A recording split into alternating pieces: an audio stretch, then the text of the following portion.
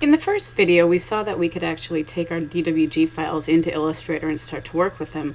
However, the easiest way that we tend to do uh, the whole process of bringing drawings and working with them in Illustrator is to create PDFs. And this has many advantages. The one, one of them is that you can actually print a PDF using black lines and with the line weights from the CTB file. So that we are automatically will have when we bring our drawing into Illustrator. The other advantage is that we can actually print to scale and Illustrator will maintain that scale when we bring our, our, bring our PDF into Illustrator. So first what we need to do is we need to create a plot from our DWG file. So here I have the same file open in AutoCAD and if I set my plot up in the printer dialog, Control P, I'm going to print to PDF I can print it on my letter, uh, page size. So if I know that I'm doing an 11 by 17 format, I can fit to that. If I know that my drawings need to fit on 8 by 11, I can work with that. Or even Arch D, which is 24 by 36. So I figure if I have a 24 by 36 board of drawings, maybe my, my plan would fit, you know, maybe on 11 by 17. So I'm going to choose that as my paper size. And then what to plot, again, I typically use extents and I always center the plot. And then here is where I can set my scale. So I know that this plan works about 16th scale. Okay, you'll see that it works pretty well. So I'm going to hit escape and I'm just going to make sure that my CTB is where it needs to be. So I'm going to go into my styles manager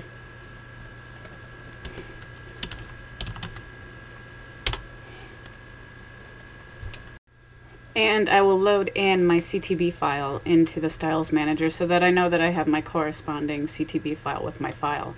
So I'm going to go find that and I will copy it and again, you know, just type in style, uh, I'm going to type in Styles Manager again just to get the folder up again. And I'll paste it into there. So that now, when I go to print, I can go to my previous plot and point it to my CTB file, which if it's not in there right away, I'm going to close out of that and open it up again. There it is. And then I'm going to print my file. my file, I'll save it on my desktop And then in the meantime, I'm going to open up Illustrator. So here I have Illustrator open again, and now what I'm going to do is I'm going to open my PDF. So I'm going to go to File and Open, and I'm going to find my PDF.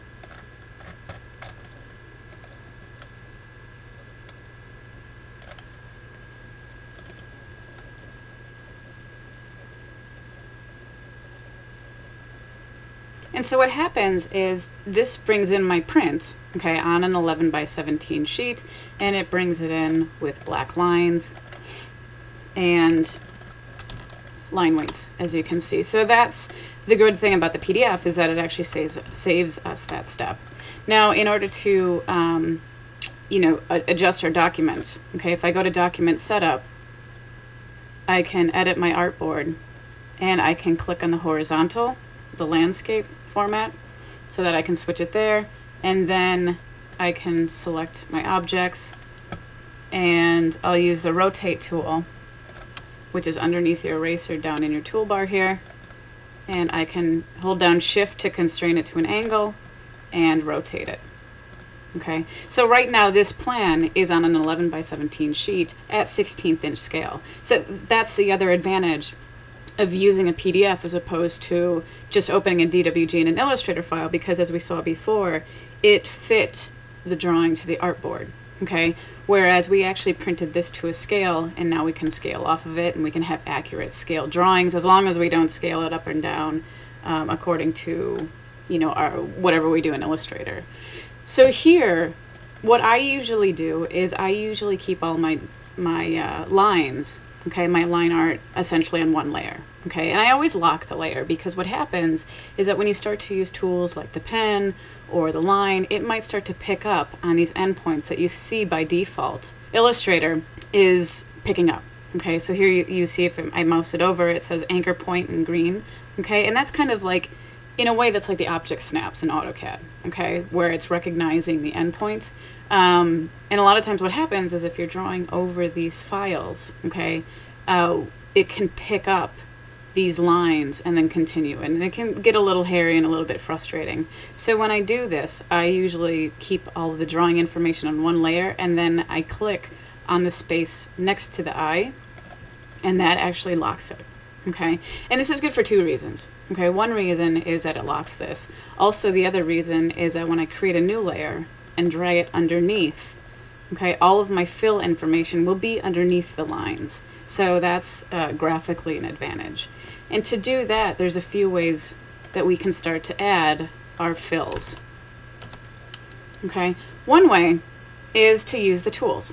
Okay, uh, you know, you have your rectangle tools, you have uh, your circle tools, and they're all located here. Um, you'll see there's rectangle, rounded rectangle, ellipse, polygon, stars, so on and so forth. But a lot of times what happens is that we use a custom type of shape.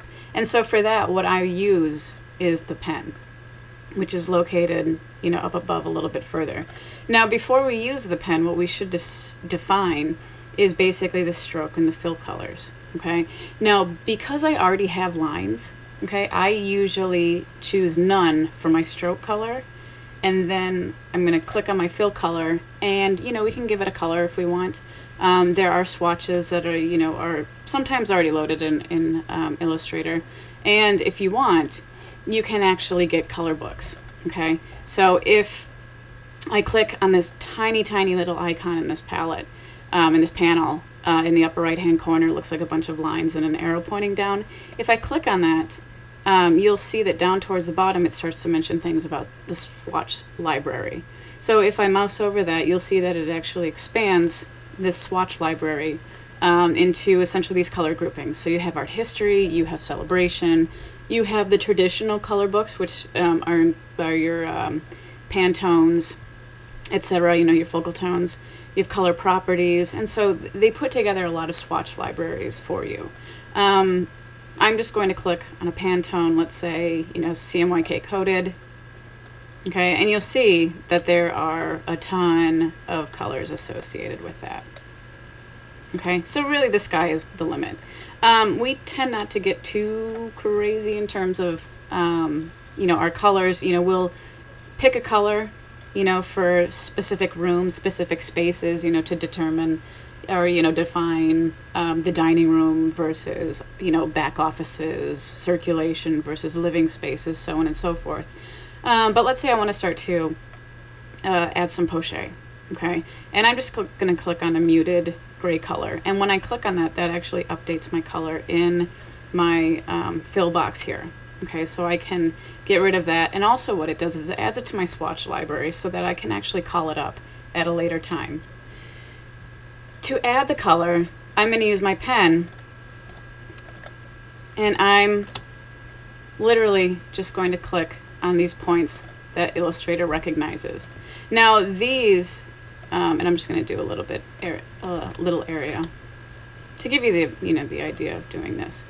Now what these uh, points are, okay, and what auto, uh, Illustrator is snapping to, okay, is essentially these points that are set up in this smart system. Okay, so if you go to view and you go to smart guides, you can see that, you know, there are ways that you can turn it on and off. Um, you can, you know, put guides in there if you want, but by default that should be on, okay? And it allows you to start to snap to points.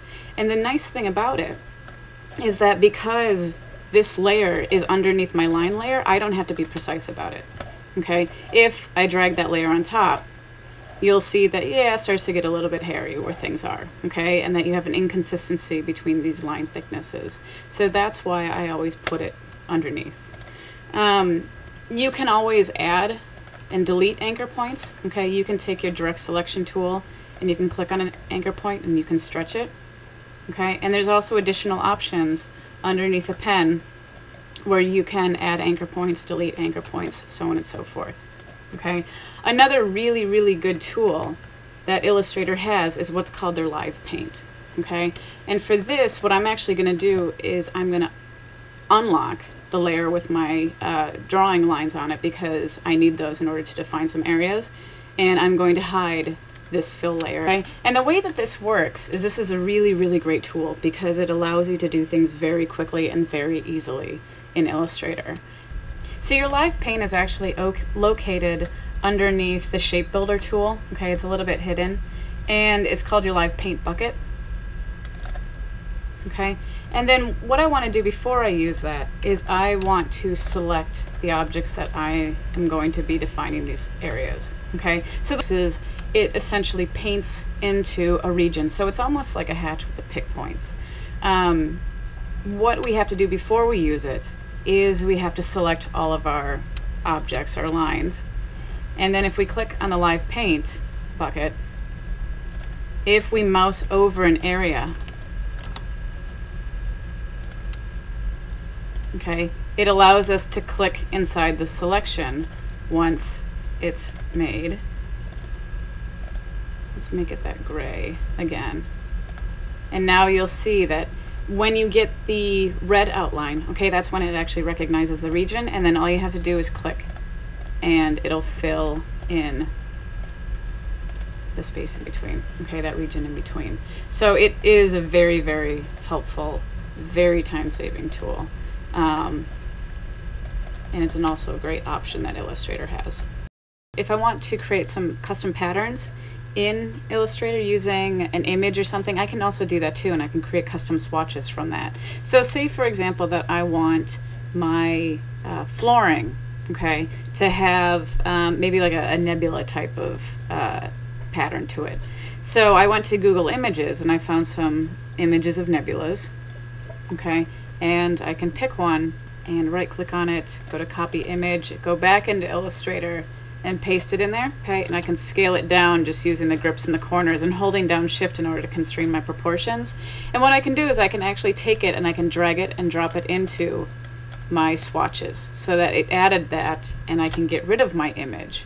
And then now I can set it up use uh, for my uh, fill color by clicking on my fill, clicking on that swatch, and then again just making sure that it's on the correct layer and I'm going to click on that image and then I'm going to change my stroke to none and then I'm going to use my pen tool in order to trace where that image goes. And if it doesn't come up the first time, what you can do is you can actually click on this and then click on the image. Okay, so either way, you can either set the image first. This is being a little bit tricky, but I can always change it afterwards. And so here you see that I have created this nebula, and then I can use again my direct selection tool in order to stretch these points. Okay, but you have to select the point when it's white and not black. Now the issue is with this is that you can't really control as much where the image goes. Okay, so you'll see that even though oh, I lost some lines there because that should be locked. Okay, that's exactly what I was talking about before and how you can lose stuff. And if I ever need to change something from one layer to another, so say this got caught on this layer, I can, there's a little uh, icon that shows up to the right of the layer name and I can click and drag that to a different layer and then lock the line layer. So anyways, so you can see that it has this uh, these seams here, okay? And that's because we don't really have a lot of control over where um, you know this image is, okay? So what we can actually do is, you know, it looks, you know, yeah, maybe you want that, maybe you don't, okay? A lot of times what happens is that you search for Google Images and you search for um, images with seamless, okay, or tiled after it because um, people do this often. And so what they do is they try to um, they try to work with images, okay, in order to make them work as a pattern, okay, but have seamless edges so you don't really notice that. What you could also do is you can go back into your swatches and you can drag that swatch back out and you can rescale it. Okay? And then drag it back in. And what it does is it creates a new swatch but with that new scale. So that I can click on that click on the second one that I created and you can see how it shifts. Okay?